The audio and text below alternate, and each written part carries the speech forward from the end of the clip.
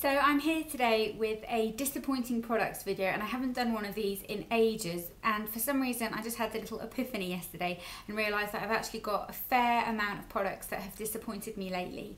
And I know a lot of people think these are very negative videos so we are going to put a little disclaimer out there even though everyone's intelligent and I don't really need to say this but I'm going to anyway.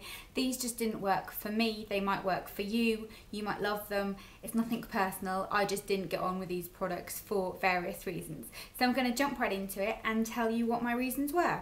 The first thing is a foundation and I have spoken about this a fair amount recently and this is the L'Oreal True Match foundation. Now I know this is a big big no-no in the beauty world to say that you don't like this because so many people who have kind of like the seal of approval on great recommendations love this but I just found it very cakey. I didn't like the finish. It kind of didn't last very well on my skin and I just didn't get on with it at all. It was really, really not for me and not something that I am going to use and I really did give it a fair test. I wore it a lot and it's just not for me. I don't like it. If you are someone who enjoys it, I know a lot of people on Twitter said that they like mixing it with other foundations and that type of thing, but I just have a lot of other products that I like much more than this, so this just isn't really for me. Then another foundation I've got here, this is by Miners and it's their Fresh Face Foundation. Now, funnily enough, the powder from this range I adore. The foundation, not so much. The coverage isn't particularly great with this. It's just a very kind of medium coverage. The packaging's not amazing and it's medium coverage if you build it and build it and build it and build it and build it and I don't like having to do that. You have to really work with this product and it's just not for me. I like something that's a little bit more um, more dewy and this the finish of this just wasn't anything special. The coverage isn't fantastic and it's just kind of all around just not a great product then I've also got a concealer here and this is an interesting one because I still am kind of in two minds on whether or not I think this is disappointing but for me it was. This is the 17 Pore Paint Heavy Duty Under Eye Concealer. Packaging is like this and it's just a kind of nice creamy concealer. It's nice but the problem is this is the shade medium and it's too light. It's too light on me and it just kind of makes my under eye area look a little bit grey. This is the kind of darkest shade they do, so it's more in terms of the shade range. I think if it was a darker shade, I would compare it to something like Benefit Erase Paste or Benefit Boi-ing, I think it's a bit more similar to, but I just wish that the shade range with this was better and it didn't really work for me.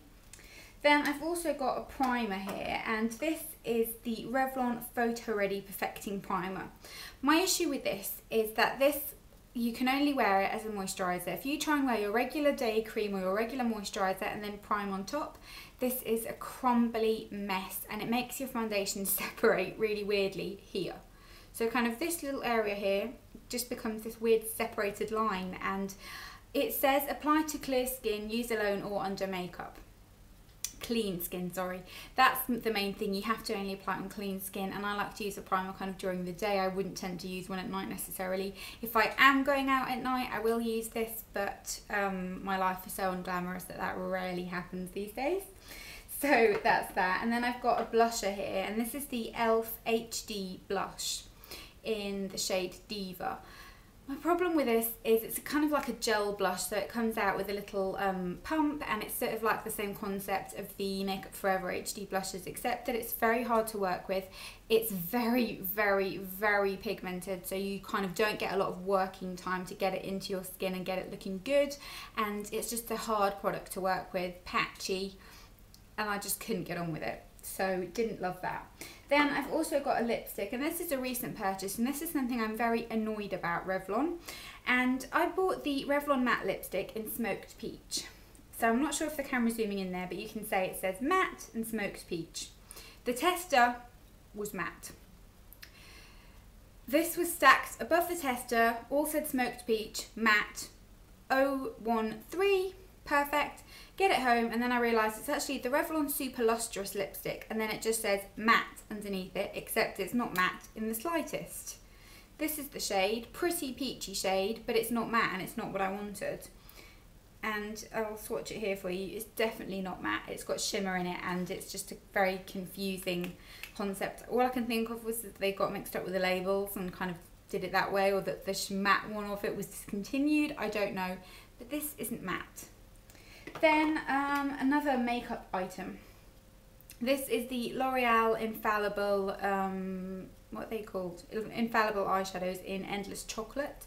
These, again, hugely hyped on YouTube. I do think with this it's maybe the shade that I didn't love, but it's kind of like a pressed pigment. It comes like that with a little kind of pressed um, plasticky thing and then the colour is a really beautiful rich chocolate except once you start putting it on your eyes then I will do a little swatch on my hand here for you. Got a nice texture, it's very pigmented as you can see, but once you start blending it, it loses its kind of iridescence and its warmth and it just becomes a very kind of boring flat colour to me and I just really didn't get on with that. So that's um, something that I think maybe I should try another shade let me know what you think. But I just didn't like kind of how it applied and I just thought it was very kind of underwhelming then I've also got a couple of skincare items the first one is the N-Spa Skin Renewal Gel I don't know what I was expecting from this, but it just doesn't really do anything. It's just a kind of pearlescent gel that you apply on your face and it's supposed to kind of rejuvenate and get get rid of dead skin cells. It didn't really do that. It kind of just sat on the skin. I washed it off, my skin felt nice, but it didn't look any different and it's not that effective. I will still kind of use it occasionally, but it doesn't really do anything. It says it's got exfoliating fruit acids in, but it's very, very mild. Same goes for the um, Nip and Fab Glycolic Fix Cleanser. I bought this a while ago. I've used it a fair amount as you can see, but it just doesn't really do much. It doesn't really make my skin look that great and it kind of makes my skin feel a little bit dry so I've stopped using this and I just wanted it to be a bit more brightening and kind of resurfacing but I suppose it's because it's got such a low um, percentage of glycolic acid in it so maybe I was expecting too much. And then last but not least I have got, this is a really I'm ashamed to admit these because I'm to like get shot in the beauty world for doing this, but these are the Elvive Fibrology shampoo and conditioners. Hangs her head down in shame. I didn't like these. Um, I was really, really excited to try them, but I just don't feel like they work. Maybe you have to have shorter, much finer hair for them to work.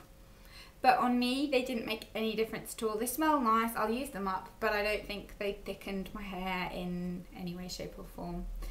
So I know I'm sorry to kind of bust the myth with that one, but for me they didn't work.